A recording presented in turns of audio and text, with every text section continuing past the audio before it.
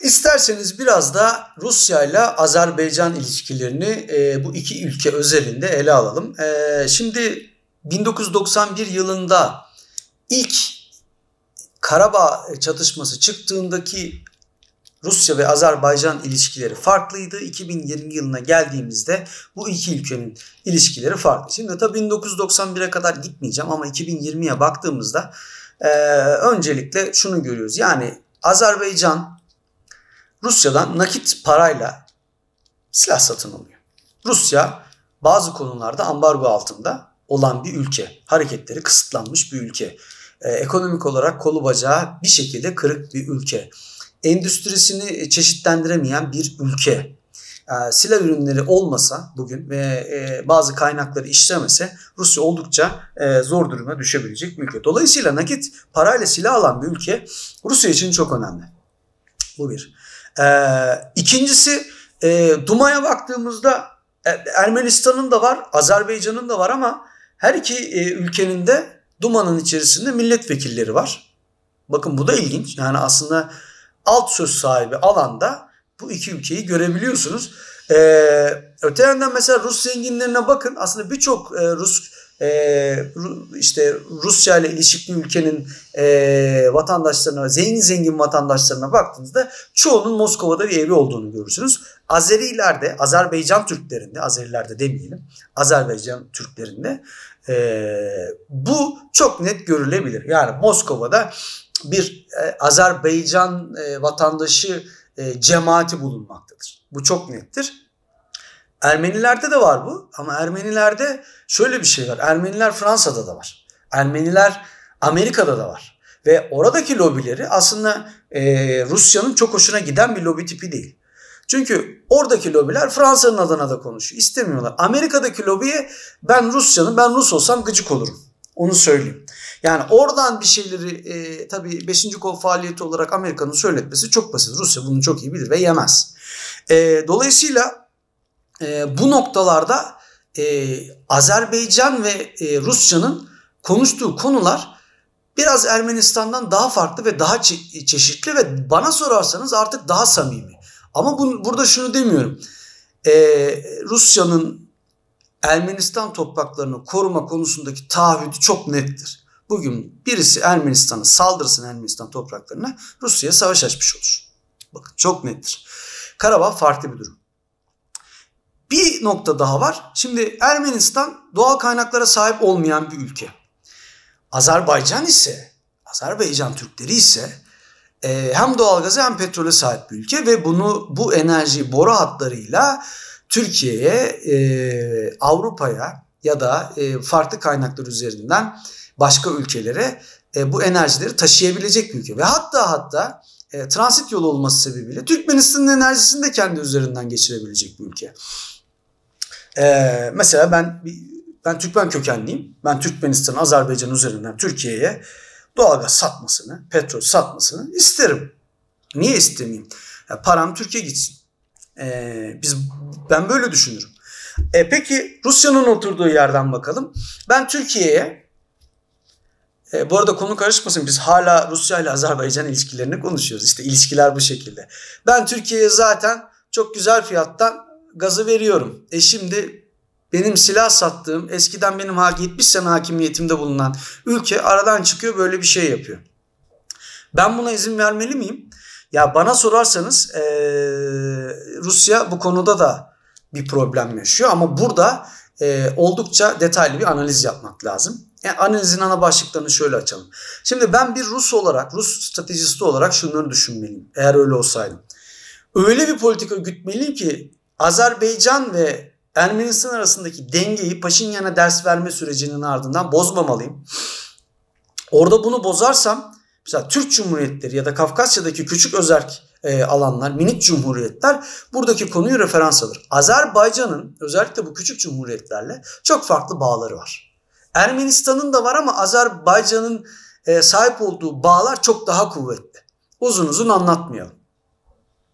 Bunu böyle görelim.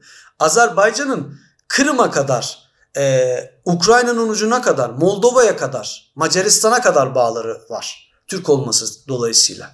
Ermenistan'ın böyle bir kuvveti yok. Belirli alanlarda öbekleşmiş az önce söylediğim gibi e, yapıları var, lobi alanları var ve bu lobi alanları Ruslar tarafından hoş karşılanmıyor. Bakmayın. E, şimdi e, ben eğer böyle bir dengeyi kurmak istiyorsam e, şunu da göz ardı etmemeliyim. E, ben bir sürü silah satıyorum Azerbaycan'a. Diyorum ki e, Ermenistan'ın da koruyucusu benim. Bak e, daha dakika bir gol bir yedik. E, burada dengeyi nasıl kuracaksın? Mesela sorularından bir tanesi bu. Bu nasıl kurulabilir? İki, e, enerji pazarıma açıkça saldırıyor Azerbaycan. Diğer bir noktada şu. Azerbaycan ben sadece benden gidiyor silah almıyor.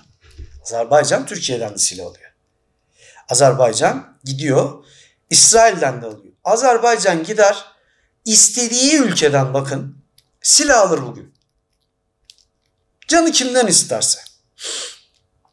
Ee, Çin'den alamayabilir biraz. O da çok uzun uzun anlatmayacağım ama ilerleyen programın ilerleyen bölümlerinde biraz bahsedeceğim bundan.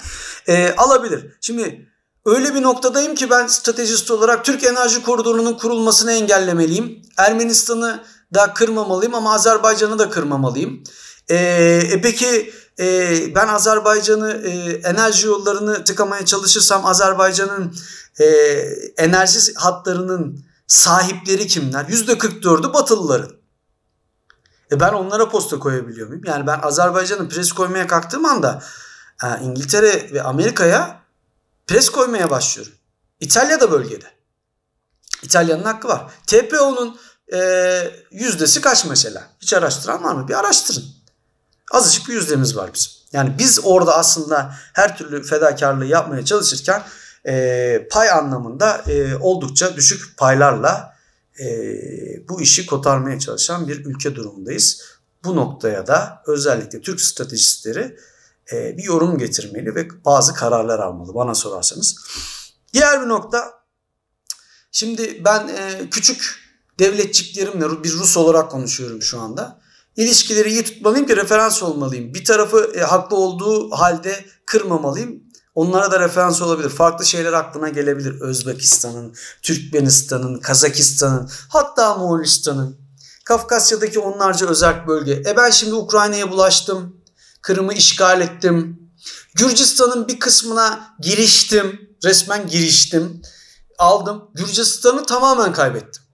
Kaybedilmişi var elde. Gürcistan'ı kaybettiğini biliyor. Kim derdi ki Rusya Gürcistan'ı kaybedecek? Kaybetti. Kaybetti. E şimdi Azerbaycan'ı kaybetmesi ne demek biliyor musunuz? Bu tip bir durumda. E ben daha yeni İran'la beraber Irak'ta bir şekilde olmaya çalışıyorum. Gücüm az ama deniyorum. Şiilerin üzerinden. Suriye benim oldu. Libya'ya girdim. Mısır'a girdim. Peki Kafkasyalardaki ara bölgenin kesilmesi mesela e, Ermenistan e, haritasına bakın. O haritanın o şekilde olmasının sebebi Türkiye Cumhuriyeti Devleti'nin Azerbaycan'la dolayısıyla da Türk Cumhuriyetleri bağını kesmektir.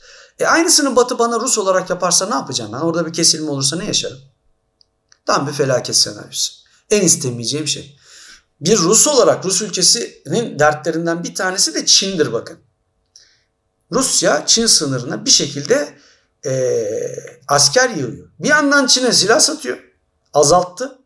Çinlilere kızgınlar. Bir yandan da sınır problemleri var. Çin asla durmayı düşünmeyen ve topraklarını limitsizce geliştirmeyi eninde sonunda isteyecek bir devlet.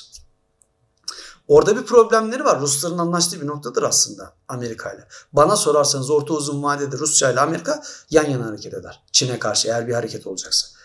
Ee, bu da kayda geçsin bakalım olur mu olmaz mı görelim. Diğer bir nokta e, ben Rusya e, olarak işte Azerbaycan'ı masaya davet ediyorum ama mesela birazdan o noktaya da geleceğiz İran konusunda ama bahsedeyim. Rusya'nın e, Tahran Büyükelçisi zannediyorum. Bakın Rusya'nın Tahran Büyükelçisi yanlış söylemeyeyim. Ermeni. Bu çok önemli bir mesajdır. Çok ince bir mesajdır. Rus yok mu acaba hiç e, oraya büyükelçi olarak gönderecek? Oradaki alt personellere baktığınızda da benzer bir durum görürsünüz. Araştırın. Bulamıyor muyum? Hayır. O özel e, seçilmiş bir durumdur. Bazı ülkeler bağımsızdır, tam bağımsızdır. O ülkeyi istediği bir ülkeye, A ülkesi tam bağımsızdır. B ülkesine büyükelçi, diplomat göndereceğinde kendisi seçer, bağımsızca yollar. Bazı ülkeler der ki bana şunu yollayacaksın derler. B ülkesi yani diplomatın geleceği ülke der ki bana bunu yollayabilirsin. Bunun örnekleri var. Burada da bu faktörlerin değişik bir versiyonu var. İki tarafta gelmesi gereken, gitmesi gereken e, diplomatların tipi konusunda hemfikir. Ermeni. Çünkü az sonra bahsedeceğiz zaten. Burada da Rusya'nın aslında niyetini daha başka nasıl açıklayabilirim e, bilmiyorum. Bir başka nokta daha var. Şimdi bu cihatçı meselesi vardı ya işte Ermenistan'a da giden falan filan. Rusya e, özellikle Suriye'de Şii militanlarla çalışmaktan her dakika memnun değil. Çünkü Şii militanlar çok radikal ve e, projeksiyonları farklı. Yani İran aslında Suriye'yi kendi toprağı olarak görmek istiyor. Rusya'nın hakimiyetinde de birçok anlaşmanın bozulma sebebi e, budur zaten e, o alanda. Yani mesela ortak devriyeye bir sürekli birileri saldırıyor. Zannediyor musunuz bunu saldırıları yapanlar her zaman Batı'nın desteklediği gruplar? Bir düşünelim. Ben zannetmiyorum. Siz ne dersiniz? Ee, şimdi Ermenistan öyle bir e, ülke ki Rusya açısından baktığımızda ya eninde sonunda bir problem çıktığında şunu diyebilir. Ya ben Ermenistan zaten elektriği kessem 3 gün yaşayabilir. Doğrudur bu. Ee, yani ama bunu yaparsan e, ne yapabilirim? E, eninde sonunda yeni bir Gürcistan yaratmış olur muyum? Mesela burada durması lazım. Son ateşkes zaten bunun sebeplerinden bir tanesi. Gürcin, Gürcistanlaşmaması lazım. E, çünkü Wagner sağda, Wagner gazetecileri de sağda.